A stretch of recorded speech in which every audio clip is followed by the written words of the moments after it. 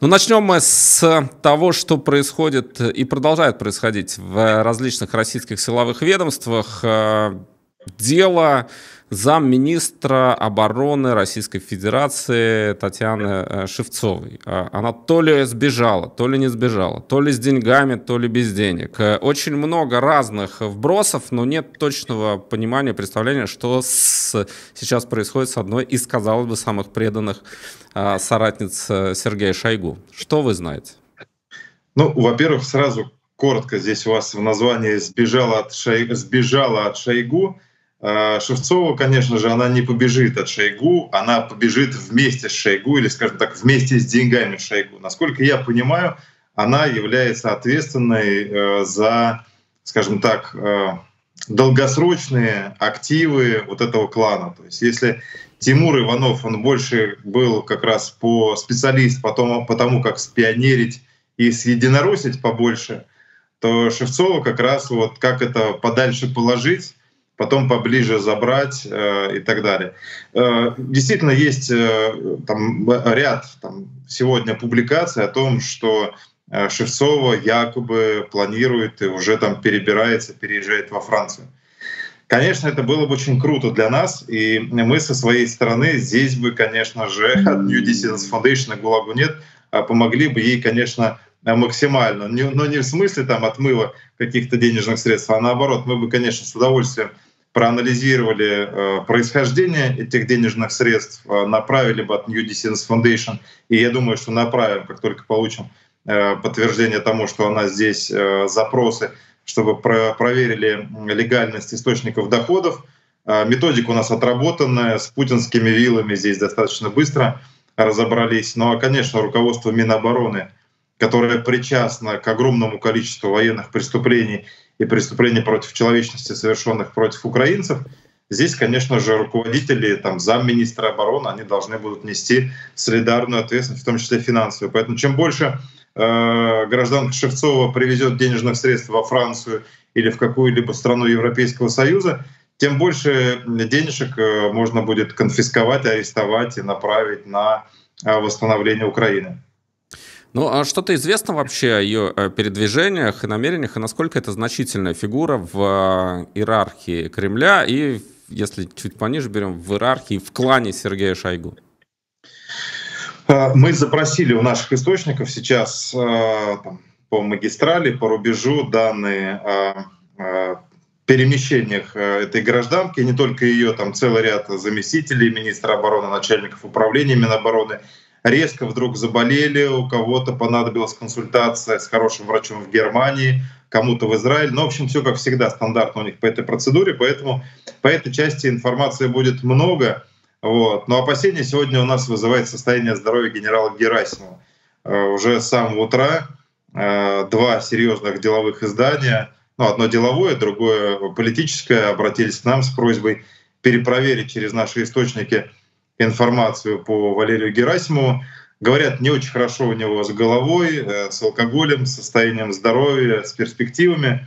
Вот. В общем, я думаю, что по Герасимову в ближайшие возможно, дни, а может быть и в ближайшие часы будет какой-то апдейт. Отвечая на вопрос по Шевцовой, еще раз подчеркну, она будет сейчас как раз заниматься отмывом денежных средств, с тем, чтобы у этого клана э, хотя бы часть э, денежек сохранилась за рубежом, потому что в России, очевидно, э, все только набирает обороты в отношении Тимура Иванова и его окружения, все новые и новые эпизоды. Э, начинают расследоваться. Собственно говоря, все, о чем мы с вами говорили еще полтора месяца назад, возбуждают новые уголовные дела. Одно уголовное дело о хищениях э, более 100 миллионов рублей, злоупотреблениях. Все эти эпизоды будут нанизываться, будут большие приговоры, будут дополнительные приговоры. То есть э, он, конечно же, рискует быть таким одним из сторожилов Лефортова, который еще там ближайшие там, 3-4 года будет там проводить по разным приговорам если, конечно же, его будут э, беречь в синовцы и не отдадут на съедение тем, кто уже давно хочет его подскользнуть в душе или перекормить супом. Здесь как раз просят уточнить про генерала Герасимова, потому что на протяжении последних месяцев его не видно в публичном пространстве. Не видно вообще, он нигде не появляется, даже на фотографиях. И есть какие-то мутные скриншоты, что якобы он участвует в совещаниях с Путиным, но там то ли размыто, то ли далеко, и рассмотреть очень сложно. А, и вот как раз э, что известно о нем, то есть почему сегодня э, снова активизировался вопрос о его состоянии здоровья, ну, вот тема Герасимова давно уже достаточно такая покрыта покрыто пеленой загадочности. Вообще он существует, он дееспособный, он есть вообще в этой иерархии сейчас? Ну, если позволить, сначала про предысторию, чтобы все понимали. Он активно себе выстраивал образ такого истукана, солдафона, сапога, который вот э, абсолютно под Шойгу, абсолютно под Путиным выполняет. И, и, и все думают, что это действительно такой военный-военный, красивый, здоровенный вот, или некрасивый, но здоровенный. Нет, абсолютно все эм, не так, как э, в образе. Очень продуманный, очень умный, очень хитрый, изворотливый. Именно поэтому, собственно, он дорос до своей позиции. И когда он возглавлял один из военных округов в армии еще до назначения в Главное управление Генштаба, он выстроил очень тесные взаимоотношения с военной контрразведкой, с одной стороны, и с другой стороны, с целым рядом э, так называемых якорных подрядчиков и коммерсантов, часть из которых э, пришли э, в Минобороны вместе с ним из-за близости к э, общению и дружбе с ним, и выпиванием, скажем так, охотам, выпиванием, рыбалкам. Вот, а часть были ему приданы от сотрудников ФСБ, высокопоставленных. И вот именно это его, собственно говоря, и уберегало в момент, когда началась раздача. Вот. Другой вопрос, что внутри ФСБ все неоднородно, и те, кто, как я понимаю, там, крышевали Герасимова и с кем он вместе там, делился денежными средствами, а по целому ряду контрактов там даже были более пошлые схемы, чем у Тимура Иванова. Там некоторые контракты, которые мы проверяли и смотрели, по ним в тупую денежные средства из подконтрольных Герасимова учреждений переводились на фирмы помойки для обналички – и там даже не создавалась видимость выполнения какого-либо государственного заказа, деньги тупо обналичивались, а Герасимов потом подчиненным командирам войсковых частей э, давал э, задания там, нижестоящим генералам, чтобы они как-то изыскивали средства для того, чтобы вот то, что должно быть на бумаге, оно реализовывалось. Именно поэтому в том округе, которым он командовал, достаточно большое количество полковников и генералов было встроено в систему вымогательств, поборов, сбора денежных средств личного состава. Они не брезговали даже солдат, срочников и контрактников обирать. Я уж молчу про средний офицерский состав, у которых там такса была минимум 5000 рублей в месяц. То есть на Герасимова и его окружение папки у ФСБ есть. И вот сейчас внутри ФСБ как раз а, на фоне того, что произошло в мае, в июне, происходит а, ротация. А, меняются кураторы направлений, и, соответственно, приходят новые лица, которые вполне возможно и по Герасимову будут реализовываться. Я думаю, что он понимает, что он в любом случае уже сбитый летчик, что ему подспустили по крышке, и именно поэтому стакан его друг, он налегает на стакан, и у него, в общем, в жизни, как я понимаю, от наших источников уже все пошло наперекосяк.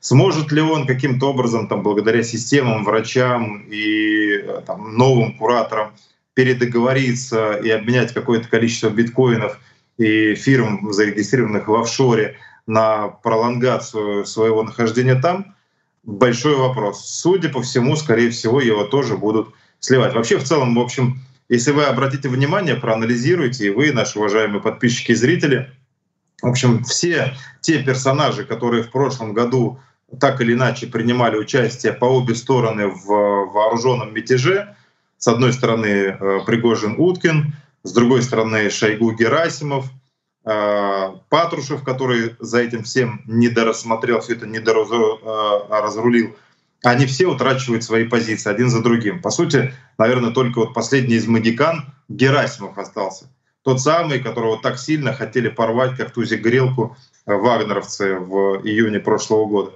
Э, его первым отдавать на съедение Путина вроде как неприлично, получается, что он идет на поводу у бандюганов. Но с учетом того, что уже и Уткина с Пригожиным в живых нету, и Шойгу уже не министр обороны, ну, вполне логично, что и с ним сейчас в течение какого-то количества месяцев что-то может произойти. Я все-таки надеюсь, что он будет жить, э, доживет и доживет и до судебных процессов на национальном уровне в России после депутинизации и до международного трибунала в Гаге. Но может что-то с ним и другое произойти, и нам всем расскажут, как, э, там, не знаю, что-то случилось с организмом э, в состоянии там, алкогольного опьянения и так далее. В общем, я думаю, что в ближайшие часы, может быть, дни станут известны подробности, потому что мы сейчас наводим на эту тему справки. И да, если кто-то из окружения Валерия Герасимова нас сейчас смотрит на гулагу.нет с двумя т на конце, собачка gmail.com, можно отправить э, письмо а, анонимное с вновь зарегистрированного электронного адреса. Вот. Заодно проясним позицию, будет о чем с Вадимом завтра нам поговорить. Я думаю, что будет.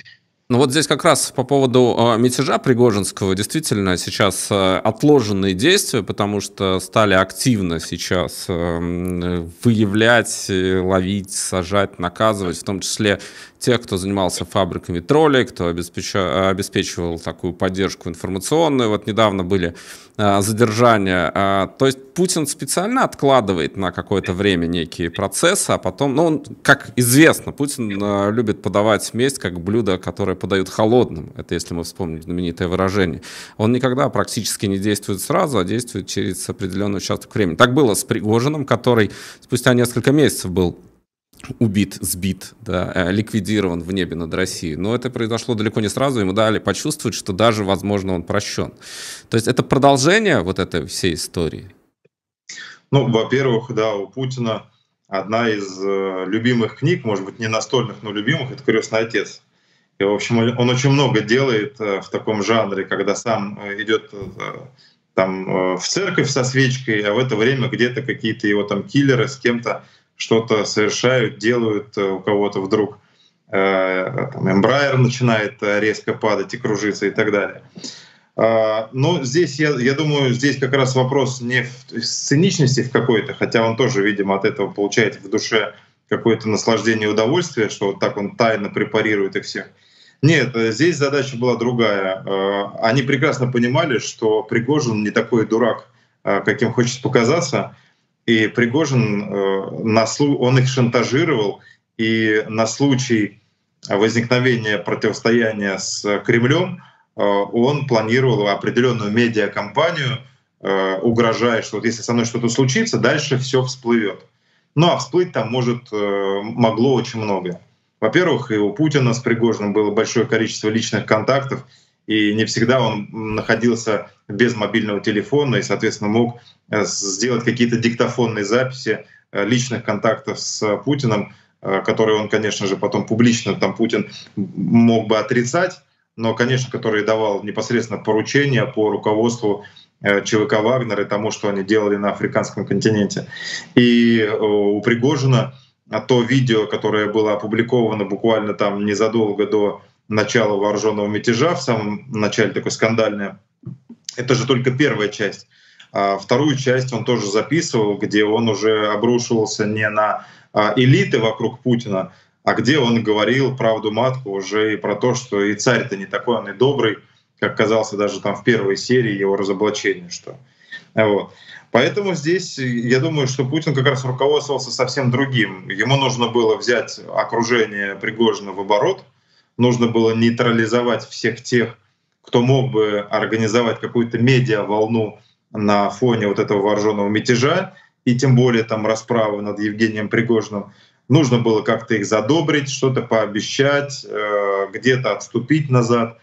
Вот. А потом, конечно, по одному, по одному, по одному их брать э, с полной гарантией того, что э, ничего не будет ни рецидива вооруженного мятежа, ни какой-то там медиа-волны, которая подорвет доверие к Путину и выставит его с одной стороны лгуном, а с другой стороны э, кровожадным э, тираном, который создавал вот эту вот управляемую команду головорезов, которые непосредственно по его команде творили огромное зло в целом ряде стран в Африке, в Сирии и в Украине. Вот еще вопрос спрашивает, а Белоусов, а какая роль сейчас у него, поскольку мы с вами говорили, что он работает в связке с Екатериной Тихоновой, одной из дочерей Владимира Путина, и э, ведет достаточно а, ну, такую, скажем, он пытается поставить армию, сделать ее более эффективной с экономической точки зрения, и в то же время а, есть мнение, что он борется с остатками клана Шойгу, которые там все-таки достаточно серьезные корни пустили. Как, какая у них сейчас роль и насколько они эффективно это делают? То есть искореняют влияние бывшего министра? как я вижу, да, вот есть э, песня такая, да, что ж ты фраер сдал назад. Вот он тот фраер, который должен сдать назад, когда ему об этом скажут. Э, потому что сказать э, команде Шойгу, Герасимова и тех, кто под ними был и начинал эту войну, что а теперь там Путин о чем-то договаривается, отступают, отменяется все. Это было бы тяжело. Э, и тем более тяжело было бы, например, вагнеровцам сказать, что все, вы там э, десятки тысяч человек положили под Бахмутом, ну а теперь все как-то вот э, договорились, какая-то линия, все, теперь отменяем те самые названные заявленные цели и отступаем, отходим. Вот он как раз тот самый, который, с одной стороны, да, должен, конечно, был положить конец этому безобразию с вот этими многомиллиардными хищениями, почти ежесуточными, потому что там они уже на самом деле берега потеряли. А с другой стороны, важно перезагрузить, привести совсем другую команду, которые, ну, которые, у которых не течет э, кровь э, по рукам, которые не стоят по шею в крови, как Суровикин, тот же с Пригожным в Бахмутской мясорубке, и у которых есть возможность э, вовремя там остановиться, выполняя указания. Потому что Путин уже на самом деле, я не хочу сейчас быть каким-то сверхоптимистом, не хочу раньше времени а, кого-то радовать. Но у Путина сейчас а, а, прорабатываются планы и дорожные карты по прекращению боевых действий, потому что он прекрасно понимает, что еще какое-то количество месяцев, а дальше уже со всех сторон шикают на него, шукают, и уже, в принципе, надо сбавлять обороты. Все уже понятно, и он понимает, что там и дойти до Киева, и захватить и утопить еще какое-то количество городов в крови, это ему никакой победы не даст, никакого парада в Киеве не намечается. Украина сформировалась как единая нация, и несмотря на каких-то там эксцессы там, э, типа Арестовича, в целом э, народ един, и э, здесь не может быть какой-то каравая с хлебом солью уже не будет ни в одном городе. Все, все уже понятно.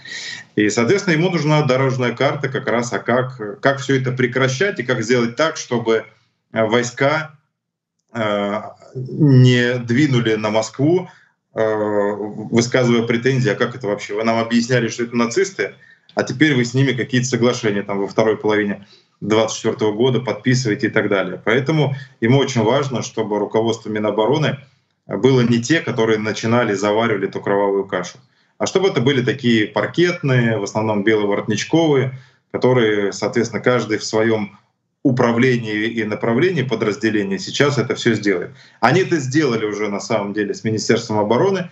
Теперь у них задача сделать то же самое с Главным управлением Генштаба. И как э, сделать ротацию с тем, чтобы у руля Генштаба была, по сути дела, вот новая команда, а не та, которая начинала войну или устраивала бахмутскую мясорубку.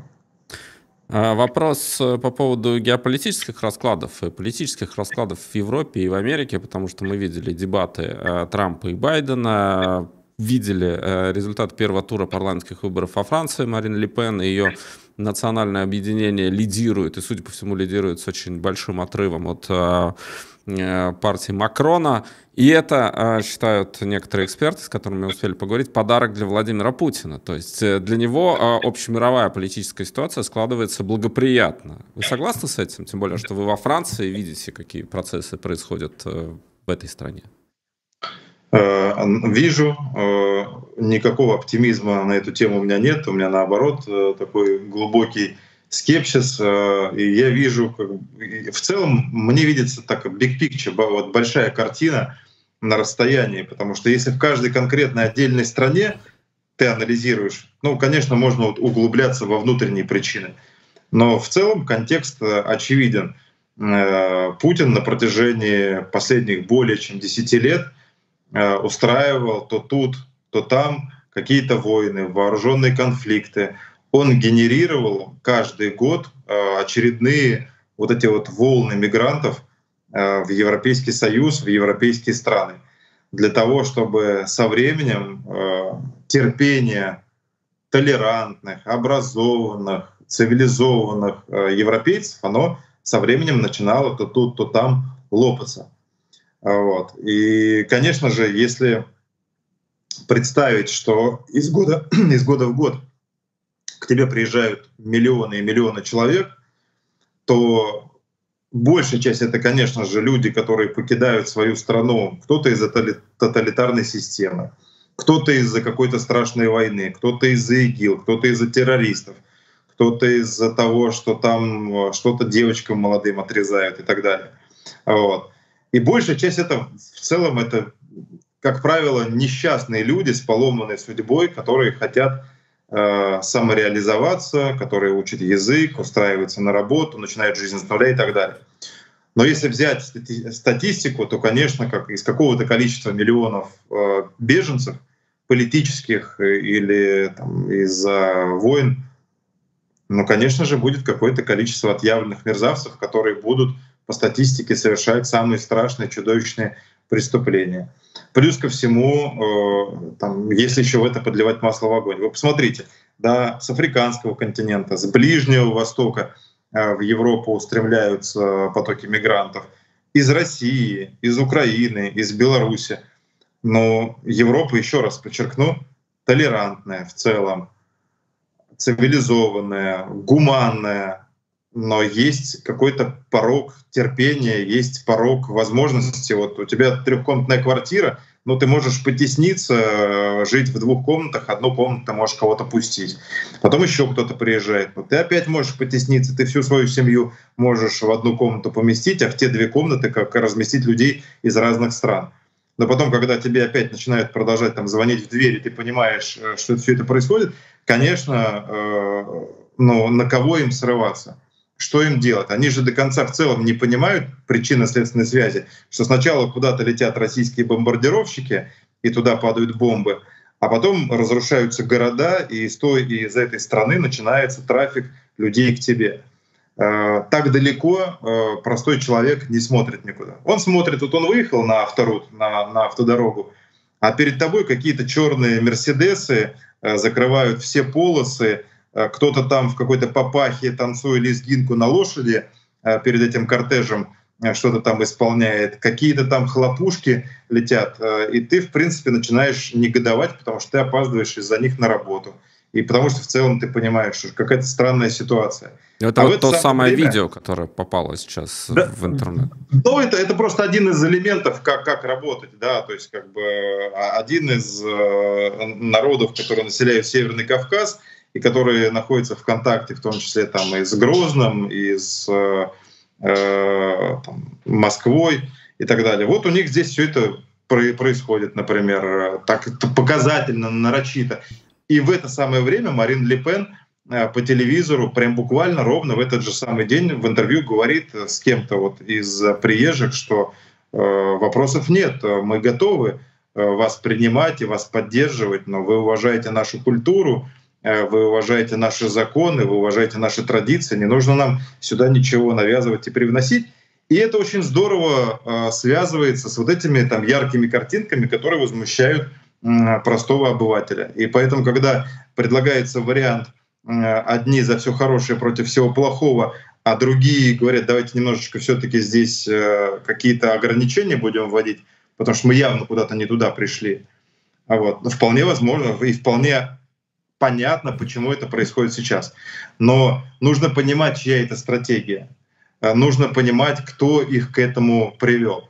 Э, куда-то дальше идти, как бы, если мы с вами там посмотрим за океан, то, то же самое, то же самое происходит. Э, но здесь очень скользкий путь. То есть, если, например, это вот ровно то, о чем я вчера на эмоциях там до глубокой ночи переживал и все-таки написал, опубликовал этот текст.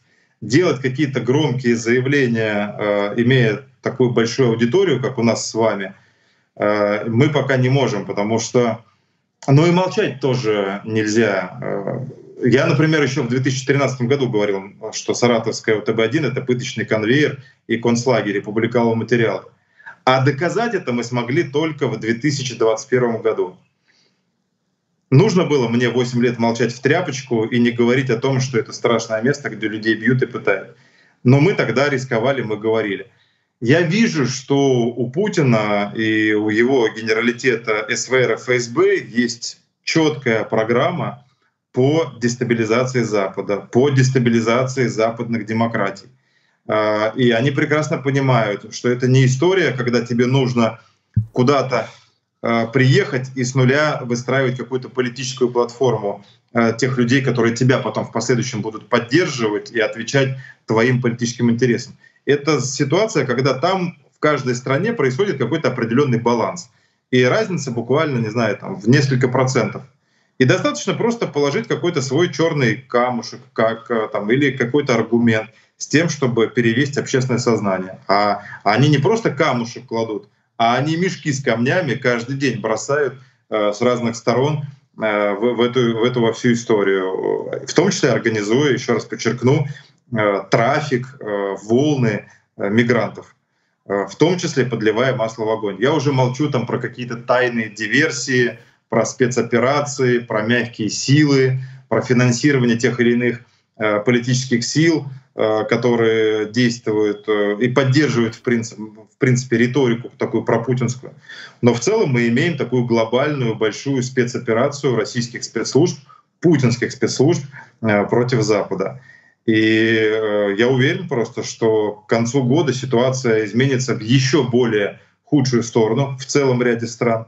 Я предвижу, я не хочу вмешиваться в политическую историю во Франции или в США, это, конечно, внутренние дела этих стран.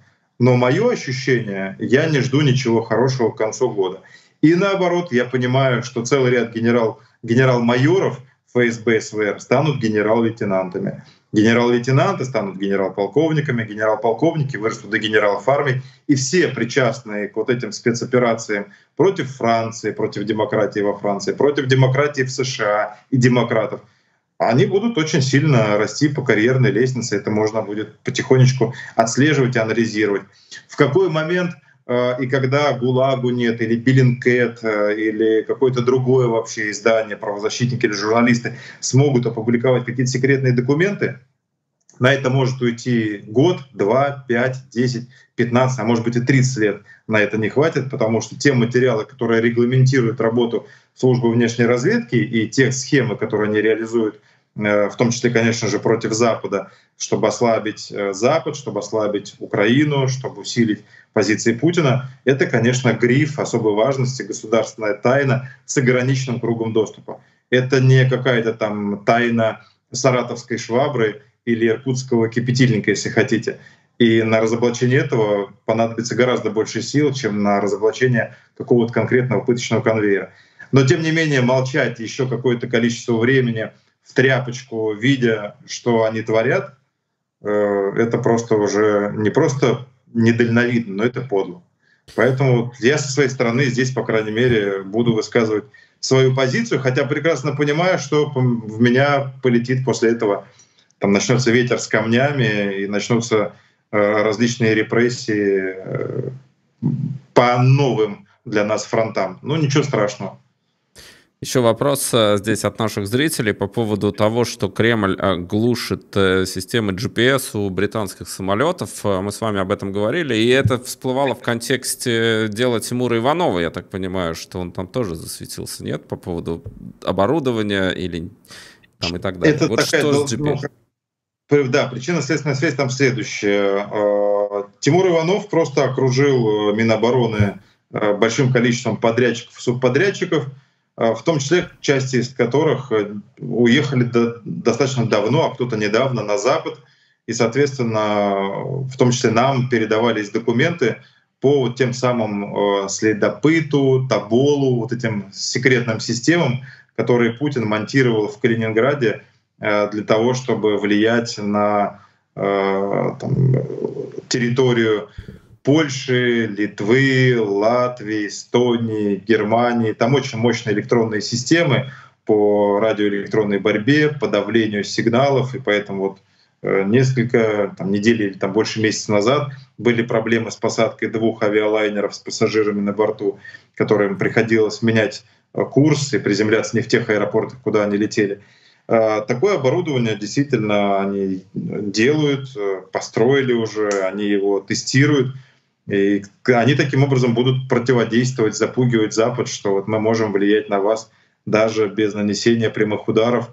Вот. Ну, собственно, они же уже использовали там авиалайнер и сотни людей, которые погибли как раз в политических целях для того, чтобы лайнер упал на территории непризнанной там, так называемый там, ЛНР, ДНР, и с тем, чтобы западные журналисты, все, кто хочет получить туда доступ, чтобы они в любом случае просили авторизацию у этих э, новых властей, писали какие-то заявления, получали аккредитации и таким образом уже легитимизировались в глазах международного сообщества. Тогда был сделан э, первый шаг на эту тему. До сих пор почему-то об этом мало кто говорит, о причинно-следственной связи, для чем они, зачем они это сделали. Отвечая на ваш вопрос про британские и другие натовские там, самолеты, ну, конечно же, для Москвы все очевидно. Они прекрасно понимают, что Украину снабжают разведданными, очень сильно поддерживают и помогают. Соответственно, им нужно каким-то образом запугивать э, и влиять на вот эти вот различные самолеты, которые в нейтральных пространствах э, летают, помогая Украине собирать информацию с тем, чтобы потом наносились какие-то ракетные удары. Вот, то есть здесь в данном случае их логика понятна, они будут и дальше это стараться делать и влиять на это разными способами с тем, чтобы каким-то образом притормозить поддержку Украины. Ну и в завершение этот вопрос, который нам регулярно задают зрители, а мы регулярно задаем его вам, про Михаила Ефремова и его УДО. А удалось ли что-то выяснить? Известно ли что-то о том, что с актером... я, я на него отвечу, но если, Вадим, если вы позволите, я бы еще буквально одну минуту хотел вам потом рассказать про вот это важное издание сегодня в Кембриджском университете, которое тоже имеет большое значение для, наверное, многих, кто смотрит наш, наши с вами каналы и кто так или иначе вынужденно покинул Россию. И, э, ну, отвечая на вопрос с Михаилом Ефремовым, э, у меня есть я вам уже говорил, правозащитная этика. А, я не могу действовать во вред заключенным. Даже если эти заключенные, их поступки, которые они там совершили в жизни, мне не симпатичны и мне не нравятся. Я могу так сказать, что каких-то серьезных жалоб на пытки и на нарушение прав человека у Михаила Ефремова на сегодняшний день нет. Если бы это было, это было бы всем широко известно. Соответственно, мне достоверно известно, что а, ему создаются определенные условия, где, с одной стороны, э, ему чуть полегче сидится, чем основной массе заключенных, а с другой стороны, таким образом и силовики, спецслужбисты собирают какую-то форму, э, скажем так, компромата с тем, чтобы потом в случае, если, когда после освобождения Михаила Ефремова вдруг э, вернется к теме с гражданином-поэтом и начнет поддерживать вдруг оппозиционную риторику с тем, чтобы можно было вбрасывать достаточно большое количество разного там отснятого материала с тем, чтобы как-то его дискредитировать, там, ставить на место в их понимании и так далее. Но в любом случае он находится в этой части как бы в состоянии заложника. Э, выплывает за буйки, с ним начинает происходить что-то нехорошее, как с Алексеем Навальным. Поэтому, как я понимаю, вроде он за буйки не заплывает. Но детали и подробности э, в, в любом случае человек в возрасте со всеми вытекающими я думаю, что в целом он, наверное, уже ответил за содеянное, очень многое осознал. И, наверное, все-таки в этом году, по идее, вернется уже домой. По поводу кембриджского э, как раз выступления, э, может быть, чуть подробнее об этом надо рассказать, потому что вы как раз попали в список э, журнала, основанного в Кембриджском университете. Это такой Human Agenda, а он посвящен как раз правам человека. Можете подробнее об этом чуть-чуть рассказать?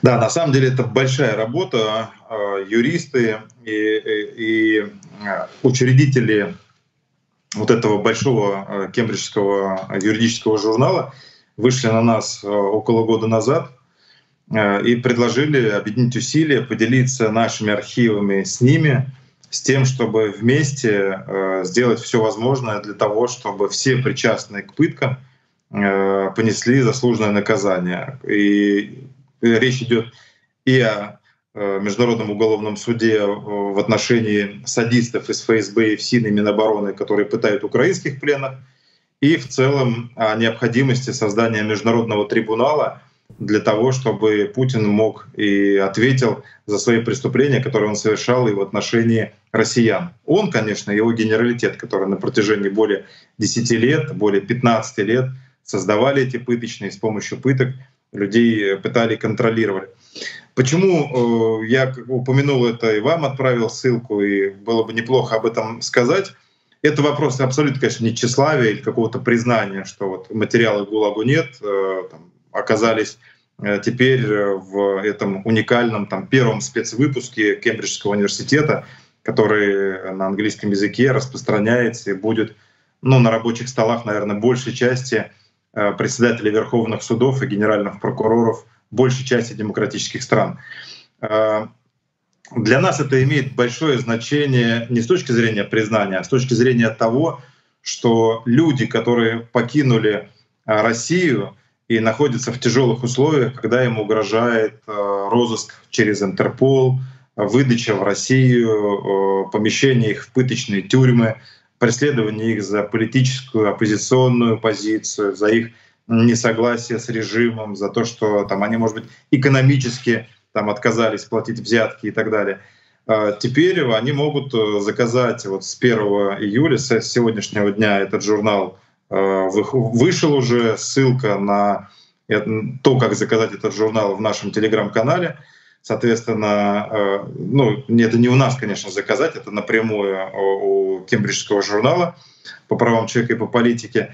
Это важно, потому что это огромная объемная работа, э, на которую можно ссылаться, и на это исследование и публикации можно опираться в процедурах Интерпола, запроса политического убежища, обжалования, отказа предоставления политического убежища, о том, что на самом деле пытки в России носят системный характер. Это большое зло, э, с которым нужно бороться всем миром. И для меня большая честь, что юристы из Кембриджа, и ученые, эксперты, э, их редакторы, они э, положили вот нашу работу в основу, по большому счету, такого большого спецвыпуска. И ему посвящено большое количество страниц, интервью со мной и описание тех файлов, которые мы в Кембридж э, передавали. Так что, в общем, всем, кто так или иначе отстаивает свои права в международных юрисдикциях с тем, чтобы не быть, не быть выданным или запытанным в России, я думаю, что это очень сильный аргумент, который может позволить помочь сохранить свободу, э, безопасность и, э, и наверное, многим жизнь.